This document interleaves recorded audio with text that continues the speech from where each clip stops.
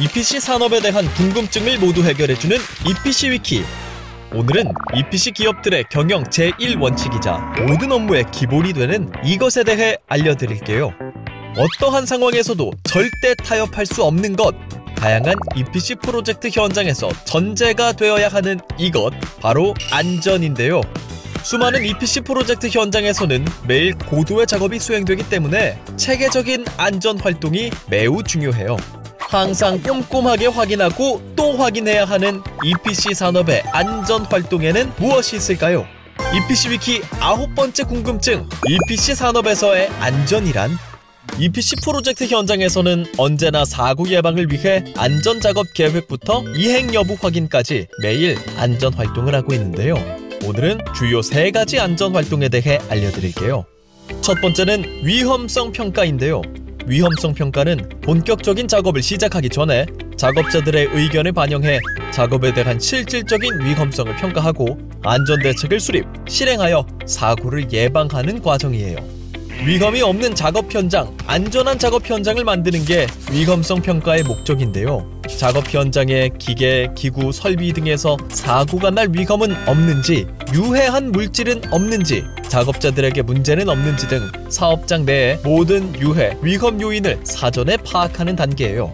또한 이러한 위험 요인들의 발생 가능성을 확인하고 위험성 정도를 결정하게 돼요.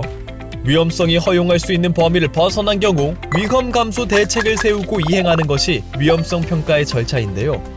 앞서 언급했듯이 이 위험성 평가에서 중요한 건 반드시 작업자가 참여해 실질적인 위험성 평가가 이루어져야 한다는 점이에요. 다음으로는 작업자들이 위험성 평가 결과를 반영해 작업 허가서를 작성하게 되는데요. 작업자들이 작업을 안전하고 효과적으로 수행할 수 있도록 적절한 교육과 자격을 갖추었는지 확인하기 위해 작성하는 문서예요. 일반적으로 작업 허가서에는 작업 정보, 위험 평가, 보안 점검, 대응 계획 등의 내용이 포함되어 하지만 프로젝트 작업의 종류에 따라 요구되는 안전 조치와 절차가 상이하기 때문에 작업 계획 시 확인이 꼭 필요해요. 이렇게 작업 허가서를 통해 사전에 작업의 위험 요소를 파악, 분석하고 위험 등급에 따라 대책을 수립해 작업의 안전성을 높일 수 있어요. 작업 허가서 작성에서 가장 중요한 점은 반드시 현장 점검 후에 점검 결과가 작성돼야 한다는 것이에요. 마지막으로는 toolbox meeting의 약어인 TBM인데요. TBM은 현장에서 작업 시작 전 작업자들에게 당일의 위험 작업, 위험 요소에 대한 품질 및 안전 교육을 실시하는 것은 물론 그날의 작업 내용과 주요 공지 사항들을 모든 작업자들이 공유하는 시간이에요. 그래서 작업 시작 전 진행되는 TBM 시간에는 TBM 리더의 주도하에 당일 작업의 핵심 준수 사항을 공유하고 안전 및 위험성 평가 교육을 실시해요. 이러한 절차를 포함해 보통 10분 정도가 소요되는데요.